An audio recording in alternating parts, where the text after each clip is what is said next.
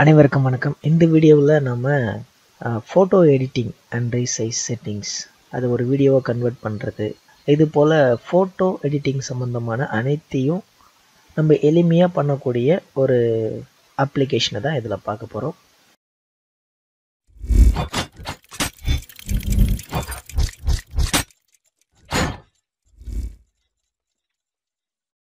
இப்போ இதில் எல்லாருமே maximum Windows ten Windows ten pro OS use பண்ணிகிட்ருக்கீங்க அதில் நீங்கள் ஜஸ்ட்டு அந்த சர்ச் பாரில் போயிட்டு ஃபோட்டோஸ் அப்படின்னு டைப் பண்ணிங்கன்னா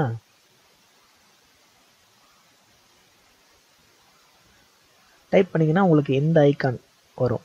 இங்கே தெரியும் பாருங்கள் இந்த ஐக்கான் வரும்? ஜஸ்ட் இதை கிளிக் பண்ணுங்கள் ஸோ இதுதான் வந்து அதனுடைய அதனுடைய இன்டர் ஸ்பேஸ் ஸோ இந்த ஃபோட்டோஸ் அப்படின்ற இந்த அப்ளிகேஷன் வந்து பார்த்திங்கன்னா உங்களுக்கு ஓஎஸ்லேயே இன்பில்டாக வரக்கூடிய ஒரு ஃபோட்டோ எடிட்டிங் சாஃப்ட்வேர் இதை எப்படி யூஸ் பண்ணி ஃபோட்டோலாம் எடிட் பண்ணலாம் நம்ம யூஷுவலாக அப்படின்னு பார்க்கலாம். ஏன்னா நம்ம இதுக்காக வேறு ஃபோட்டோ எடிட்டிங் சாஃப்ட்வேர்லாம் தேவையில்ல. ஃபோட்டோஷாப் கூட தேவையில்ல. அந்த அளவுக்கு இதில் நிறைய ஒர்க் இருக்குது இப்போ நான் ஒரு பிக்சரை அந்த ஃபோட்டோஸ் ஆப்பில் போயிட்டு எப்படி எடிட் பண்ணுறது அப்படின்னு காமிக்கிறேன். ஜஸ்ட் நீங்கள் ஏற்கனவே சேவ் பண்ணி வச்சுருக்கிற ஏதாவது ஒரு பிக்சர் எடுத்துக்கங்க. இப்போ நான் ஒரு பிக்சரை டபுள் கிளிக் பண்ணி ஓப்பன் பண்ணிக்கிறேன். ஸோ நீங்கள் பார்த்தீங்கன்னா தெரியும் ஃபோட்டோஸ் ஆப்பில் இது ஓப்பன் ஆகிருக்கு இதை என்னென்னலாம் பண்ண முடியும்? நாம் இந்த ஃபோட்டோஸ் ஆப்பை பயன்படுத்தி அப்படின்னா ஃபஸ்ட்டு இங்கே பாருங்கள் இது ஜூம் ஆப்ஷன் ஸோ இதை இன்க்ரீஸ் பண்ணிங்கன்னா ஃபோட்டோ வந்து உங்களுக்கு ஜூம் ஆகும். எவ்வளோ வேணாலும் ஜூம் பண்ணிக்கலாம். பேக் வந்தீங்கன்னா ஜூம் இன்க்ரீஸ் வந்து டீக்ரீஸ் ஆகிடும் ஸோ இந்த ஃபோட்டோ நம்மளோட ஃபேவரட் ஃபோட்டோனா அதில் ஆட் பண்ணி வச்சுக்கலாம். இதை ட்ரை பண்ணி வந்து நீங்கள் என்ன பண்ணலாம்னா ஃபோட்டோவோட ஆங்கிளை சேஞ்ச் பண்ண முடியும். அங்கே பாருங்கள் இப்போ கிளிக் பண்ண ஆங்கிள் சேஞ்ச் ஆகுது. மறுபடியும் கிளிக் பண்ண ஆங்கிள் சேஞ்ச் ஆகுது. ஸோ இந்த மாதிரி நம்மளுக்கு எந்த ஆங்கிளில் ஃபோட்டோ வேணுமோ அந்த ஆங்கிளை கிளிக் பண்ணி சேவ் பண்ணிக்கலாம் ஃபோட்டோவை ஸோ ஃபோட்டோ வந்து அவுட் ஆஃப் ஃபோக்கஸ் நிறையா இருக்குது பின்னாடி அப்படின்னா இதை கிளிக் பண்ணிங்கன்னா உங்களுக்கு கிராப் ஆப்ஷன் வந்துடும் ஸோ அந்த கிராப் ஆப்ஷனை நீங்கள் இப்படி குறைக்கிறது மூலியமாகவும் இப்படி குறைச்சி நீங்கள் இந்த இடத்துல வேறு ஒரு ஃபோட்டோவாக சேவ் எ காப்பி அப்படின்னா நீங்கள் இதை கிளிக் பண்ணிங்கன்னா இந்த ஃபோட்டோ ஒரிஜினல் ஃபோட்டோ ஆல்ரெடி இருக்கும். வேறு ஒரு இடத்துல நீங்கள் சேவ் பண்ணிக்கலாம். அல்லது இதே ஃபோட்டோவை கட் பண்ணிட்டு வேணும் அப்படின்னா இதை கிளிக் பண்ணி சேவ் கொடுத்தீங்கன்னா இந்த ஃபோட்டோ அந்த கட் சைஸுக்கு மாறிடும். சரிங்களா? இந்த ஆப்ஷன் அந்த கிராப் ஆப்ஷன் வந்து இதில் நம்ம யூஸ் பண்ண முடியும். சரி அடுத்து இந்த கிராப் ஆப்ஷனில் சைடில் பார்த்தீங்கன்னா இங்கே பாருங்கள் சைடில் சில ரேஷியோஸ் கொடுத்துருக்காங்க. இப்போ ஃப்ளிப்புன்னா படத்தை இந்த பக்கம் லெஃப்ட் லெஃப்ட் சைடு தெரியிற பிக்சரை ரைட் ஹேண்ட் சைடுக்கு மாற்றலாம் இப்போ பாருங்கள் இதை கிளிக் பண்ணுறேன் நான். அப்போ பாருங்கள் சூர்யாவோட ஃபேஸ் வந்து லெஃப்ட் பக்கம் இருந்து ரைட் பக்கம் திரும்புது. எந்த ஆங்கிள் நம்மளுக்கு வேணுமோ அந்த ஆங்கிளில் திருப்பிக்கலாம். இப்போ நம்மளுக்கு இந்த ஆங்கிளே நல்லா இருக்குது அப்படின்னா இதையே வச்சுக்கலாம். அதே மாதிரி இந்த இடத்துல ஆஸ்பெக்ட் ரேஷியோ ஃபோட்டோவோட ரேஷியோவை மாற்ற முடியும். ஒரிஜினல் ரேஷியோ வந்து இப்போ தெரியாது. இதை கிளிக் பண்ணிங்கன்னா ஸ்கொயராக மாறும். அங்கே பாருங்கள் இதில் எது வேணுமோ அதை நீங்கள் மாற்றிக்கலாம் ஃபோர் இஸ்ட்டு த்ரீ இல்லை ten is to eight so எது எது எந்த சைஸ்க்கு உங்களுக்கு வேணுமோ இந்த இடத்துல ஃபோட்டோவை நீங்கள் உங்கள் சைஸுக்கு ஏற்ற மாதிரி எடிட் பண்ணிக்கலாம். சரி இங்கே மேக் போர்ட்ரேட்னு ஒன்று இருக்கும் பாருங்கள் ஒரு ஏ ஃபோர் ஷீட்டு சைஸுக்கு இந்த ஃபோட்டோ வந்து வந்துடும் இதில் கிளிக் பண்ணிக்கணும் சரிங்களா? ஸோ இது வந்து ஃபோட்டோவோட சைஸ் எடிட்டிங் இப்போ வந்து நான் பழைய இதுக்கே வந்துக்கிறேன். அடுத்து இந்த ஸ்ட்ரைட்டனிங் அப்படின்ற இந்த இதை நீங்கள் கிளிக் பண்ணிங்கன்னா ஃபோட்டோ வந்து இன்கேஸ் ஃபோட்டோ எடுக்கும் போது நான் சைடாக கொஞ்சம் கோணையாக நின்றுட்டேன் அப்படின்னா இதை கிளிக் பண்ணி ஸ்ட்ரைட்டனிங் பண்ணிக்கலாம். பாருங்கள் ஆக்சுவலாக இந்த ஃபோட்டோ வந்து பார்த்திங்கன்னா லைட்டாக சைடாக தான் இருந்தது. இது பாருங்கள் இதான் நார்மல் சைஸு இதை கொஞ்சம் நேர் பண்ணணும் அப்படின்னா அங்கே பாருங்கள் இது போலயே நம்ம பண்ணிக்கலாம்.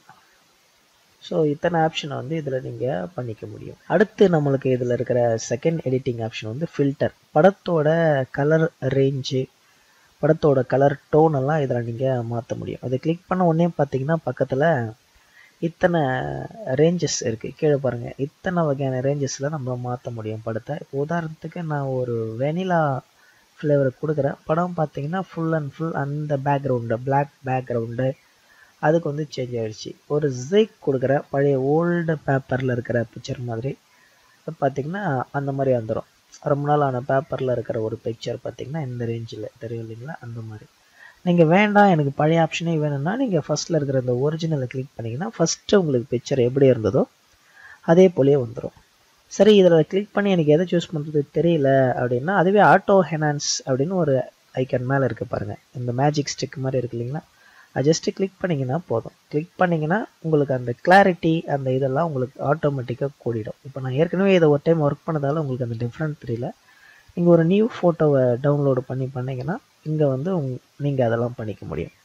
அது மட்டும் இல்லை இந்த மாதிரி ஒரு ஃபோட்டோவை எடுத்து நீங்கள் இந்த மாதிரி ரீஒர்க் பண்ணுகின்ற பொழுது இந்த என்ஹான்ஸ் பண்ணிட்டீங்கன்னா அது உங்களுடைய ஃபோட்டோவாக ஆகிடும் காப்பிரைட் கிளைமும் வராது. காப்பிரைட் கிளைம் அப்படின்னா என்ன அப்படின்னா ஒரு ஃபோட்டோவை நீங்கள் கூகுளில் டவுன்லோடு பண்ணுறீங்கன்னா மேக்ஸிமம் அது வேறு ஒருத்தர் எடுத்து அப்லோடு பண்ண ஃபோட்டோவாக இருக்கும். அதுக்கு அவங்க உரிமம் பெற்று இருப்பாங்க காப்பிரைட் வாங்கியிருப்பாங்க.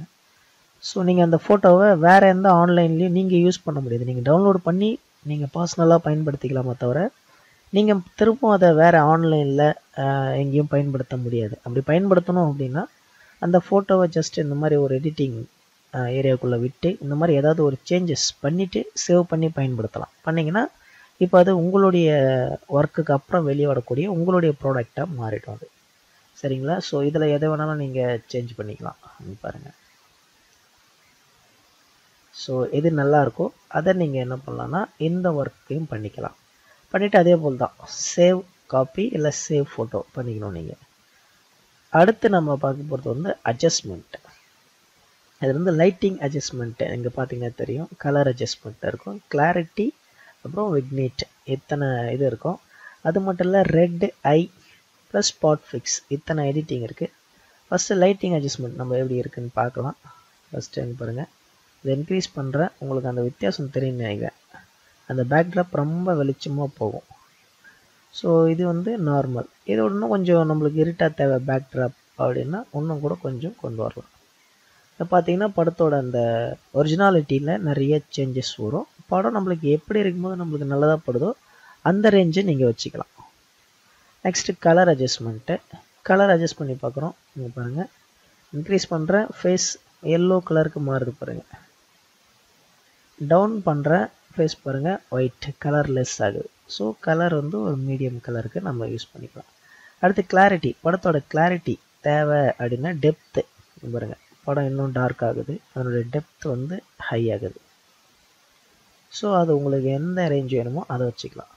அடுத்து விக்னேட் அதை நான் இன்க்ரீஸ் பண்ணுறேன் இன்க்ரீஸ் பண்ணும்போது அந்த ஓரத்தில் ஓரத்தில் கார்னரில் பாருங்கள் நாலு கார்னர்லேயும் உங்களுக்கு இரிட் ஆகிட்டு அந்த சென்டர் மட்டும் ஃபோக்கஸ் ஆகும். இப்போ இதை குறைக்கிற கார்னர்லாம் பளிச்சுன்னு ஆகுது பாருங்கள் ஓகேவா? ரெட் ஐன்றது வேறு ஒன்றும் இல்லை. நம்ம அந்த ஒரு ஐயில் அதை வச்சு கரெக்ட் பண்ணிட்டோம்னா ஐ வந்து ரெட் கலராக மாறிடும். அவ்வளோதான் வேறு ஒன்றும் இல்லை. ஸோ இந்த மாதிரி அந்த ஐ கரெக்ஷன் எல்லாம் பண்ணுறது அது. அடுத்த ஸ்பாட் ஃபிக்ஸ் ஏன்னா ஒரு ஸ்பாட் வந்து நம்மளுக்கு ப்ளம்மிஷாக வேணும் அப்படின்னா அந்த ஸ்பாட்டை மட்டும் நம்ம கிளிக் பண்ணோம்னா போதும். அந்த ஸ்பாட் வந்து நம்மளுக்கு ப்ளம்மிஷாக மாறும். வேறு ஒரு இந்த ரேஞ்சுக்கு மாறும். இது பாருங்கள் இந்த ஏரியாலாம் நான் வந்து அதை கிளிக் பண்ணுறேன் இந்த ஏரியாலாம் பாருங்கள் அந்த க்ளீனிங் பண்ணுற ஏரியா மாதிரி ஆகிடும் அங்கே பாருங்கள் இங்கெல்லாம் முடி இருந்துச்சு. இப்போ நான் அழுத்திட்டு வரேன். அங்கெல்லாம் பார்த்தீங்கன்னா அந்த க்ளீனிங் வந்து நல்லாயிருக்கும் அந்த தோலில் முகப்பொரு அந்த மாதிரிலாம் இருக்கும் இல்லையா? அந்த மாதிரி ஏரியாவெலாம் நீங்கள் இது போல் கிளிக் பண்ணி சரி பண்ணிக்கலாம். கருப்பாக லைட்டாக கருப்பாக இருக்குது அப்படின்னா அந்த மாதிரி ஏரியாலாம் நீங்கள் இதை கிளிக் பண்ணி மவுஸில் கிளிக் பண்ணி அந்த மாதிரி ஏரியாவெலாம் சரி பண்ணிக்கலாம். சரிங்களா? ஸோ இந்த மாதிரி. ஸோ எதுவும் வேண்டாம்னா மேலே அண்டு ஆல் கொடுத்தீங்கன்னா எல்லாமே வந்துடும் இல்லை வேணும்னா ரீடு ஆல் கொடுத்தீங்கன்னா பழைய நம்ம எடிட் பண்ண பொசிஷனுக்கு வந்துடும் ஃபோட்டோ சரிங்களா? சரி இப்போ இதெல்லாம் பண்ணிட்டீங்க. சார் இது இல்லாமல் மேலும் சில இருக்குது அதையும் உங்களுக்கு காமிக்கிறேன். ஸோ இப்போ இதில் பார்த்தீங்கன்னா சர்ச்சுன்னு ஒன்று இருக்குது இந்த ஓப்பன் பண்ணோடனே வரும் உங்களுக்கு சர்ச் இது எதுனா நம்ம ஏற்கனவே ஒரு இமேஜ் இருக்குது இந்த இமேஜுக்கு ரிலேட்டடான இமேஜ் நம்மளுக்கு இன்னும் தேவைன்னா இந்த சர்ச் ஆப்ஷனை கிளிக் பண்ணி அந்த இமேஜை இதில் அப்லோடு பண்ணோம்னா அந்த இமேஜ் போலயே இருக்கிற கூகுளில் இருக்கிற இமேஜ் நம்மளுக்கு ஃபைன் பண்ணி காமிக்கும். ஆனால் அதுக்கு நெட் கனெக்ஷன் தேவை. ஞாபகம் வச்சுக்க இப்போ இந்த எடிட் அண்ட் கிரியேட்டுன்னு ஒரு முக்கியமான ஆப்ஷன் இங்கே இருக்குது நான் சொன்னதெல்லாம் பார்க்க இதில் நிறைய இருக்குது அதில் பார்க்கலாம். ஃபஸ்ட்டு எடிட் தான் இப்போ நம்ம இவ்வளோ நேரம் பார்த்துட்டு இருந்தது. சரிங்களா? இந்த பாருங்க. கிராப்பு ஃபில்டர்ஸ் அட்ஜஸ்ட்மெண்ட் இதுதான் நம்ம இவ்வளோ நேரம் பார்த்துட்டு இருந்தது. ஸோ அடுத்து ட்ரான்னு ஒரு ஆப்ஷன் இருக்குது என்ன ட்ரா அப்படின்னா நம்மளுக்கு ஸ்கெட்ச் பண்ண மாதிரி கொடுத்துருவாங்க. மேலே அங்கே பாருங்கள் இதில் பால் பாயிண்ட் பென்னு கீழே அழுத்துறோம். எந்த கலர் நம்மளுக்கு வேணுமோ அந்த கலரை நம்ம சூஸ் பண்ணிக்கலாம். சூஸ் பண்ணிக்கிட்டு அந்த கலரில் நீங்கள் எழுதிக்கலாம். அதே மாதிரி ப்ரஷ்ஷோட சைஸ் நீங்கள் இதை இன்க்ரீஸ் பண்ணிங்கன்னா ப்ரஷ்ஷோட சைஸ் பெருசாகும். டிக்ரீஸ் பண்ணிங்கன்னா ப்ரஷ்ஷோட சைஸ் சின்னதாகும். எந்த கலர் வேணுமோ அந்த கலரில் நீங்கள் என்ன பண்ணிக்கலாம்? சூஸ் பண்ணி ஜஸ்ட் ஒரு சிக்னேச்சர் போடுறதுக்கோ இல்லை இந்த ஃபோட்டோ கீழே உங்களுடைய நேம் ஃபிக்ஸ் பண்ணுறதுக்கோ பண்ணிக்கலாம். இப்போ உதாரணத்துக்கு நான் ஜஸ்ட்டு கிளிக் பண்ணிடாத. கிளிக் பண்ணி சும்மா ஒரு சைன் போடுறதுக்கு இது போல் யூஸ் பண்ணிக்கலாம். ஒரு படத்தில் சின்னதாக ஒரு இடத்துல நம்மளுடைய இது யூஸ் பண்ணுறதுக்கு போட்டுக்கலாம்.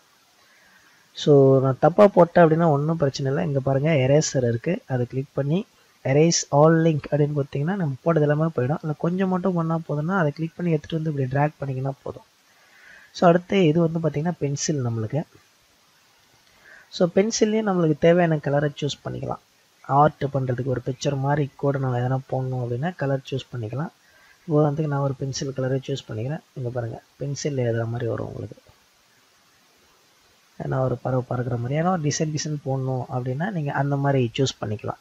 நேச்சுராக வரைகிற ஒரு இதுக்கு. ஸோ வேண்டாம் அப்படின்னா நீங்கள் வழக்கம் போல் தான் ரப்பரை தொட்டு தொட்டிங்கன்னா போயிடும். அடுத்து இது வந்து பென்னு நம்மளுக்கு. பென்னிலையும் நம்ம கலர் சூஸ் பண்ணிக்க முடியும். ஸோ கலர் சூஸ் பண்ணிவிட்டு அதையும் நம்ம பென்னு மாதிரி எழுதும் இது. நம்ம அந்த இந்த பென் இருக்குங்க இல்லைங்களா? மார்க்கர் பென் அந்த மாதிரி எழுதணும் இது ஓகே இந்த டிசைன் எல்லாமே நீங்கள் ஒரு ஃபோட்டோவில் பண்ணிக்க முடியும். இப்போ நான் வந்து எரேசர் மட்டும் எடுத்துகிட்டு வந்து இந்த இடத்துல அழிக்கிறேன். ஸோ இதெல்லாம் பண்ணிட்டேன் சார் ஓகே சார் எனக்கு வந்து எல்லாமே வந்து ஓகே ஆகிடுச்சி அப்படின்னா அடுத்து நீங்கள் இங்கேயே சேவ் பண்ணிக்கலாம். இந்த பாருங்கள் சேவ் ஏ காப்பின்னு இருக்கு இல்லைங்களா? அதையே கிளிக் பண்ணிங்கன்னா எங்கே சேவ் பண்ணுறது அப்படின்னு கேட்கும். நீங்கள் ஏதாவது ஒரு இடத்துல ஃபோல்டரில் சேவ் பண்ணக்கூடிய ஃபோல்டரில் நீங்கள் அதை சேவ் பண்ணி வச்சுக்கலாம். ஏதாவது ஒரு இடம் போட்டு அதுக்கு நேம் கொடுத்து இதை சேவ் பண்ணிக்கலாம். அதே மாதிரி சேவ் பண்ணும்போது நீங்கள் ஜேபிஜியாக வேணுமா அப்படின்னா அதை நீங்கள் இங்கே செலக்ட் பண்ணிவிட்டு அப்புறம் சேவ் கொடுத்துக்கலாம். மேக்ஸிமம் இது வந்து ஜேபிஜியாக தான் சேவ் ஆகும். ஆல்ட்ரும் பண்ணிக்கலாம் பிரச்சனை இல்லை. அடுத்து எடிட் அண்ட் கிரியேட்டில் நம்ம பார்க்க போகிறது வந்து ட்ரா பார்த்துட்டோம். சேவ் ஃபோட்டோஸ்ன்றது நாம் இங்கேருந்து ஒர்க் பண்ணி சேவ் பண்ண ஃபோட்டோஸை அது காமிக்கும். அடுத்து ஆட் த்ரீ டி எஃபெக்ட்ஸ் இது வந்து நியூவாக இப்போ வந்திருக்குது. அதை கிளிக் பண்ணி பார்க்கலாம்.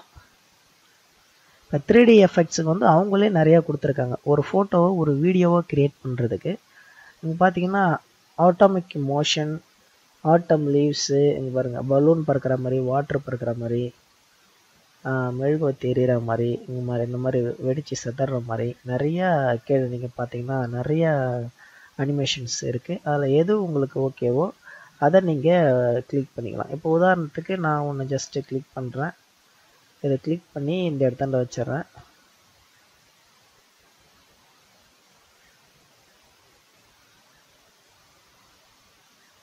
ஸோ இது வந்து எப்படி இதாகுதுன்னு பார்க்கலாம்.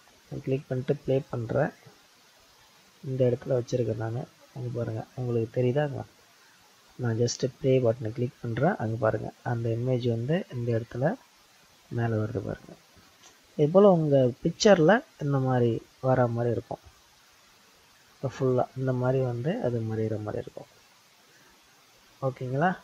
அதில் எஃபெக்ட்ஸ்னு ஒன்று இருக்குது அங்கே பாருங்கள் எஃபெக்ட்ஸை கிளிக் பண்ணுறீங்க இதில் மறுபடியும் போயிட்டு நீங்கள் எதனா எஃபெக்டை ஆட் பண்ணணும். அப்படின்னா அதையும் நீங்கள் ஆட் பண்ணிக்கலாம். இப்போ உதாரணத்துக்கு நான் இந்தாண்ட வந்து ஒரு பலூன் பறக்கிற மாதிரி தேவை எனக்கு அப்படின்னா அதை ஃபேஸுக்கு நேராக பறக்கிற மாதிரி வேணுனாலும் வச்சுக்கலாம். இல்லை சைடில் வேணால் அப்படி மவுஸை கிளிக் பண்ணி ட்ராக் பண்ணி இங்கே எடுத்துகிட்டு வந்தீங்கன்னா போதும். இப்போ பாருங்கள் ரெண்டுமே ஒர்க் ஆகும். ஏற்கனவே வச்ச அனிமேஷனும் ஒர்க் ஆகும். பாருங்கள் பலூன் மூவ் ஆகிட்டு பலூன்ஸ் வருது அங்கே. இந்த மாதிரி ஒரு பிக்சரில் நம்மளுக்கு தேவையான எடிட்டிங் ஆப்ஷனையும் இந்த இதில் பயன்படுத்திக்க முடியும். சரிங்களா? ஓகே இப்போ வேணும்னா நீங்கள் சேவ் காப்பி அல்லது சேவ் தான். எஃபெக்ட் ஆட் பண்ணணும் அப்படின்னா நீங்கள் மோர் எஃபெக்டை போயிட்டு எது தேவையோ அதை ஆட் பண்ணிக்க வேண்டியது தான் அது த்ரீ டி லைப்ரரின்னு ஒன்று இருக்குது அது ஒன்றும் இல்லை. நெட்டு கனெக்ஷன் இருந்தால் நீங்கள் இன்னும் இது போல் நிறையா எஃபெக்டை அங்கேருந்து டவுன்லோடு பண்ணி வச்சுக்கலாம். அதுதான் அது. ஸோ மேலும் என்ன பண்ணலாம் அப்படின்னா மேலும் கூட ஒரு ஆப்ஷன் இருக்குது த்ரீ டி எஃபெக்ட்ஸ் பார்த்துட்டோம். அடுத்து அனிமேஷன் டெக்ஸ்ட் ஒன்று இருக்குது ஸோ நம்மளுக்கு பார்த்தீங்கன்னா நம்ம ஃபோட்டோவில் அனிமேஷன் வரணும். டெக்ஸ்ட்டு அப்படியே ஒரு ஆடி அசைஞ்சு வர மாதிரி வரணும் அப்படின்னா நம்ம அந்த டெக்ஸ்ட்டையும் போட்டுக்கலாம். எந்த ஃபார்மேட் ஃபாண்ட்டு வேணும் அப்படின்றதும் இங்கே நிறைய ஃபாண்ட்டு அந்த ஃபார்மேட் ஃபாண்ட் இருக்குது எது வேணுமோ அதை நீங்கள் என்ன பண்ணிக்கலாம் சூஸ் பண்ணிக்கலாம். இப்போ நான் ஒரு ஃபாண்ட்டு இந்த ஃபாண்ட்டு வேணும். அப்படின்னு நினைக்கிறேன். ஸோ இந்த ஃபாண்ட்டை கிளிக் பண்ணிக்கிறேன். கிளிக் பண்ணிவிட்டு நான் என்ன பண்ணுறேன்னா இந்த இடத்துல டைப் யுவர் டெக்ஸ்ட்னு இருக்கு இல்லைங்களா அதை கிளிக் பண்ணி நான் ஜஸ்ட்டு என்ன அங்கே வரணுமோ அதை போட போகிறேன்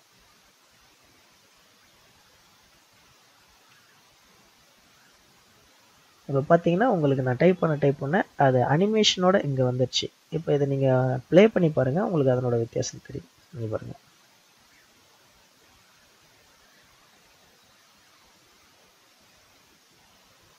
ஓகேங்களா? இதை நீங்கள் எடிட் பண்ண முடியும். இந்த சைஸ் வந்து நீங்கள் இங்கே வர வைக்கலாமா எங்கே வர வைக்கலாம் அதை மாற்ற முடியும். அதுக்கும் கீழே லே அவுட் இங்கே பாருங்கள் கொடுத்துருக்காங்க. இப்போ இதை கொடுத்தீங்கன்னா சென்டரில் வரும். இதை கொடுத்தீங்கன்னா டாப்பு இதை கொடுத்தீங்கன்னா சைட்டில் அப்படி வரும்.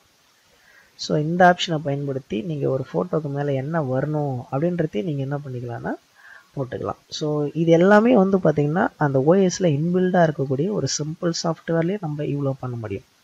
ஸோ அதுக்கடுத்து இந்த டெக்ஸ்ட்டை மோஷன் எப்படி பண்ணலாம் அப்படின்றது. இந்த பிக்சரே மோஷன் அவுட்டு உள்ளே போகிற மாதிரி வெளியே வர மாதிரி. பிக்சர் அப்படியே இருக்காமல் ஒரு மோஷன் ஆகிற மாதிரி. இப்போ உதாரணத்துக்கு பாருங்கள் ஜூம் அவுட் லெஃப்ட் அப்படின்னா ஜூம் அவுட் ஆகிட்டு லெஃப்ட் பக்கம் போகிற மாதிரி இருக்கும். சரிங்களா? இப்போ இது பாருங்கள் எல்லாமே உள்ளே போயிட்டு ஜூம் இன் சென்டர் சென்டர் வந்து ஜூம் ஆகும். ஜூம் இன் லெஃப்ட் போட்டு பார்க்குறேன் பிக்சர் பேக் ட்ராப்பில் லெஃப்ட் பக்கம் நவர்ற மாதிரி இருக்கும். உங்களுக்கு தெரியும்னு நினைக்கிறேன். அதே ஜூம் அவுட் ரைட்டு போடுறேன். நீங்கள் பாருங்கள் பிக்சர் வந்து ரைட் பக்கம் நவர்ற மாதிரி இருக்கும் பேக் ட்ராப் பிக்சர் வந்து மூவ் ஆகும்.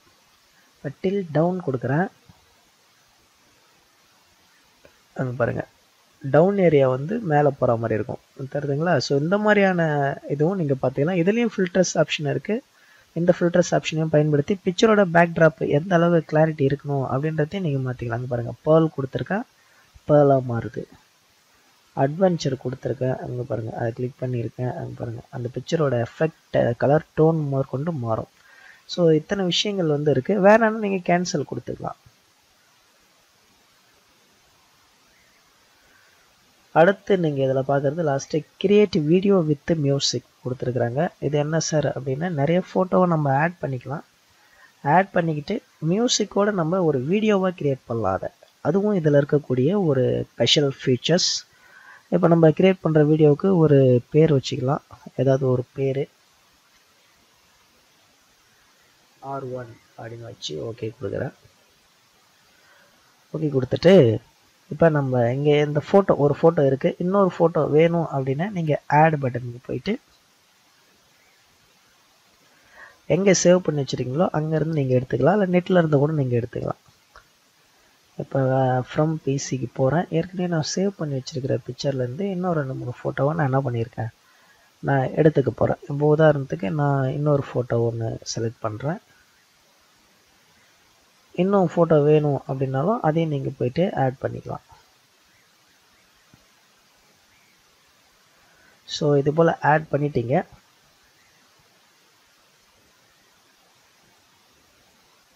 இங்கே கொண்டு வந்த ஃபோட்டோவை கிளிக் பண்ணி கொண்டு வந்து ஃபஸ்ட்டு இந்த டைம் லைனில் வச்சிடுறீங்க. ஒன்று ஒன்றா வச்சிடுறீங்க. நீங்கள் ரைட் கிளிக் பண்ணால் கூட பிளேஸ் இன் ஸ்டோர் யார்டுன்னு வரும். அங்கே கிளிக் பண்ணாலும் ஃபோட்டோ போயிட்டு ஸ்டோர் யார்டில் இந்த மாதிரி உட்காந்துக்கும் இந்த லைனில் உட்காந்துக்கும் ஸோ அதை பண்ணிட்டீங்க. அடுத்து வந்து இருக்கிற ஃபோட்டோவை எடுத்துகிட்டு வந்துட்டோம் அடுத்து எடிட் எப்படி பண்ணலாம் அப்படின்றாங்க. ஆடு டைட்டில் கார்டு ஒரு டைட்டில் கார்டு ஏதாவது போடணுமா? முன்னாடி அப்படின்னா ஃபஸ்ட்டு எந்த இடத்துல தேவையோ அந்த இடத்துல போட்டுங்க. தெரியாமல் வந்துச்சுன்னா ஒன்றும் பிரச்சனை இல்லை. அதை ரைட் கிளிக் பண்ணிட்டு ரிமூவ் திஸ் டைட்டில் கார்டு கொடுத்தீங்கன்னா போயிடும். இந்த இடத்துல நம்மளுக்கு டைட்டில் கார்டு வேணும் அப்படின்னா ஒரு டைட்டில் கார்டு கொடுக்குறீங்க. டைட்டில் கார்டு கொடுத்துட்டதுக்கப்புறம் இங்கே பாருங்கள் இங்கே கீழே சின்னதாக ஒரு டைட்டில் கார்டுன்ற ஆப்ஷன் இருக்கா?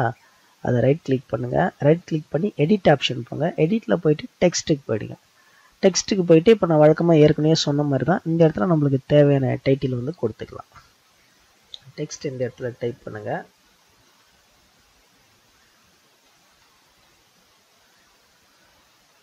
டைப் பண்ணிவிட்டு பேக்ரவுண்ட் எதனா மாற்றணும்னா கூட நீங்கள் போயிட்டு இந்த கலர் பிடிக்கல எனக்கு இந்த கலர் வச்சுக்கிறேன் அப்படின்னா கூட நீங்கள் கலர் போயிட்டு சேஞ்ச் பண்ணிக்க முடியும். நீங்கள் சேம் கலர் தான் பண்ணணும் அப்படின்னு கிடையாது. டன்னு கொடுத்துட்டிங்கன்னா முடிஞ்சிச்சு. டைட்டிலில் உங்களுக்கு என்ன வேணுமோ மொதல் பக்கத்தில் அதை கொடுத்துக்கலாம். அதை கொடுத்து ஜஸ்ட்டு ப்ளே பண்ணி பாருங்கள் அது ஒரு அனிமேஷனோட அங்கே ப்ளே ஆகும். சரிங்களா? ஸோ இங்கே அதே போல் ஒவ்வொரு ஃபோட்டோவையுமே நீங்கள் என்ன பண்ணலான்னா அங்கே ரைட் கிளிக் பண்ணி அதுக்கு உண்டான எடிட்டில் போயிட்டு நீங்கள் டெஸ்ட் வரணுமா மோஷன் வருமா த்ரீ டி எஃபெக்ட்ஸ் வருமா ஃபில்டர்ஸ் வரணுமா அது எல்லாத்தையுமே நீங்கள் என்ன பண்ணிக்கலாம்? இந்த இடத்துல நீங்கள் போட்டுக்கலாம். அப்போ மோஷனுக்கு போகிறேன் நான் அது வந்து லெஃப்ட்டு ஜூம் அவுட் ஆகிற மாதிரி இருக்குதுன்னா டன்னு கொடுத்துட்றேன். டன்னு கொடுத்துட்டு வரேன். இப்போ இது ப்ளே ஆகும்போது பாருங்கள் உங்களுக்கு ஜூம் அவுட் ஆகும். ஃபோட்டோ வருதுங்களா? ஸோ இந்த மாதிரி நீங்கள் என்ன பண்ணிக்கலாம்னா ஒவ்வொன்றுத்தையும் பண்ணிக்கலாம். அடுத்து கேப்டன் சார் இருக்கார். இவருக்கு ஏதாவது ஒரு எடிட்டிங் அனிமேஷன் பண்ணணும் அப்படின்னா நீங்கள் இதை போய் கிளிக் பண்ணிங்கன்னா போதும். ரைட் கிளிக் பண்ணி எடிட்டில் போயிட்டு வழக்கம் போல் நீங்கள் என்ன த்ரீ டி எஃபெக்ட்ஸ் ஏதாவது கொடுக்கணும் அப்படின்னா ஒரு த்ரீ டி எஃபெக்ட்ஸை இந்த இடத்துல நீங்கள் கொடுத்து விடுங்க. டன்னு கொடுத்துட்டு வரீங்க. கொடுத்துட்டு இங்கே வந்து ப்ளே பண்ணி பாருங்கள் அங்கே பாருங்கள் நம்ம கொடுத்த எஃபெக்ட்டு அங்கே ஒர்க் ஆகுது. ஸோ அதே மாதிரி சூப்பர் ஸ்டாருக்கு ஏதாவது அட்மிஷன் கொடுக்கணும்னு நினச்சிங்கன்னா எடிட் போகிறீங்க எடிட்டில் போயிட்டு அதே போல் மோஷன் போகிறீங்க மோஷனில் ஏதாவது ஒரு கொடுங்க. இல்லை த்ரீ டிஸில் ஏதாவது ஒன்று கொடுங்க. ஸோ இந்த மாதிரி நம்மளுக்கு தேவையான எல்லாத்தையும் இங்கே பண்ணிவிட்டு இங்கேயும் இந்த டியூரேஷனை செட் பண்ணி வச்சுக்கலாம். எத்தனை செகண்ட்குள்ளே அடுத்த ஸ்லைடு வரணும் அப்படின்ற மாதிரி text motion three D effect filters எல்லாத்தையுமே இங்கே நீங்கள் உங்களுக்கு தேவையானதை அங்கே போயிட்டே எடிட் பண்ணிக்கிற ஆப்ஷனும் அவங்க கொடுத்துருக்குறாங்க. அடுத்து பேக்ரவுண்டில் ஏதாவது மியூசிக் நீங்கள் சேர்க்கணும் அப்படின்னா அதையும் நீங்கள் பண்ணிக்கலாம். இப்போ உதாரணத்துக்கு நான் இங்கே போகிறேன் பேக்ரவுண்ட் மியூசிக்கை கிளிக் பண்ணுறேன் அதில் ஏற்கனவே ஒரு டோன் இருக்குது ஹாப்பி பெஸ்ட்டுன்னு மேலே இருக்கிற மியூசிக் பீட்டோட வீடியோ சிங்க் ஆகும்னா இது கொடுங்க. இல்லைன்னா எடுத்துருங்க. எடுத்துட்டு டன் கொடுத்துருங்க. ஸோ இப்போ அங்கே எல்லாத்துலேயும் மியூசிக்கும் ஆட் ஆகிருக்கும் அப்போ நீங்கள் ப்ளே பண்ணி பாருங்கள் இது போல் வந்துடும் அடுத்து ஆடியோவை கஸ்டம் ஆடியோ அப்படின்னா வேறு ஒன்றும் இல்லை. நம்மக்கிட்ட இருக்கிற ஆடியோ ஃபைல்ஸை இங்கே ஆட் பண்ணிக்கலாம். வேறு என்ன ஆடியோ ஃபைல்ஸ் நம்ம வச்சுருக்குறோம் அப்படின்னா அந்த ஆடியோ ஃபைல்ஸை போயிட்டு நாம் இங்கே எடுத்துகிட்டு வந்தாக்கு வந்து இங்கே போட்டுக்கலாம். இப்போ உதாரணத்துக்கு நான் எம்பி த்ரீல ஏதாவது ஒரு சாங் வச்சுருக்கேன். அந்த சாங்ஸே நான் என்ன பண்ணலான்னா இங்கே வந்து ஓப்பன் கொடுத்துக்கலாம். ஓப்பன் கொடுத்தோன்னா இங்கே வந்துடும் அது. ஸோ இதையே நான் என்ன பண்ணிக்கலாம்? டன் கொடுத்துக்கலாம். டன் எங்கே வேணுமோ அதையும் நீங்கள் அட்ஜஸ்ட் பண்ணிக்கலாம் இந்த இடத்துல. ஏற்றுக்கு ஏற்று அட்ஜஸ்ட் பண்ணிக்கலாம். ஸோ இல்லைன்னா இங்கேயே டன் கொடுத்துக்கலாம். டன் கொடுத்து ஜஸ்ட்டு ப்ளே பண்ணி பாருங்கள் அந்த சாங் வரும்.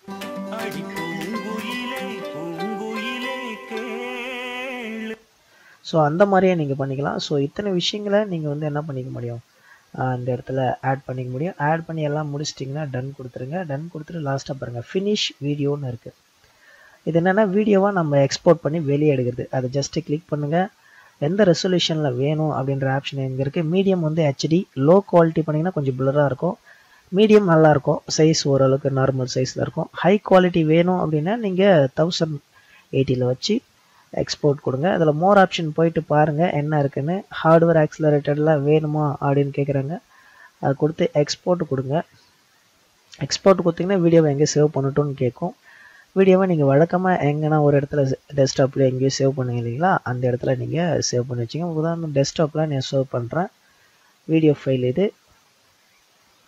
எக்ஸ்போர்ட் கொடுக்குறேன்.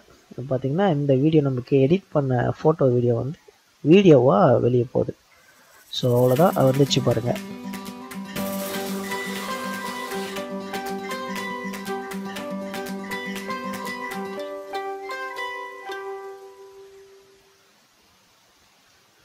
ஸோ அவ்வளோதான் நேர்களே நம்ம எடிட் பண்ண வீடியோ தான் இருக்குது பாருங்கள் ஸோ இது போல் நீங்கள் என்ன பண்ணலான்னா இன்பில்டாக இருக்கிற இந்த ஃபோட்டோ ஆப்பில் இத்தனை விஷயங்கள் இருக்குது இதை யூஸ் பண்ணி பாருங்கள் பயனுள்ள வீடியோ இருந்தால் மறக்காமல் லைக் பண்ணுங்கள் சப்ஸ்கிரைப் பண்ணுங்கள் மீண்டும் ஒரு அடுத்த வீடியோவில் உங்கள் அனைவரையும் சந்திக்கிறேன். Until this is Ramji take care bye bye